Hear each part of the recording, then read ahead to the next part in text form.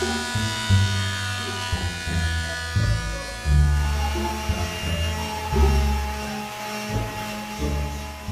think the most challenging thing when I when I first got here, it's different now, but when I first got here, I didn't know anything about carpentry.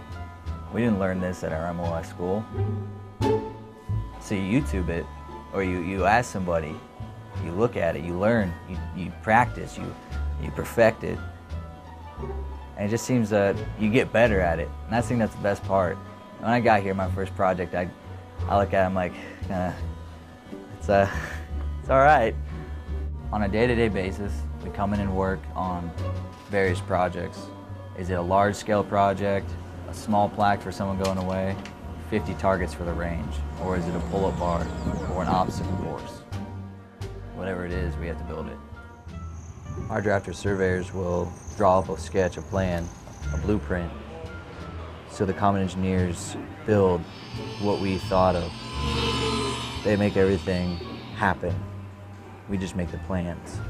But in the construction shop, you're both.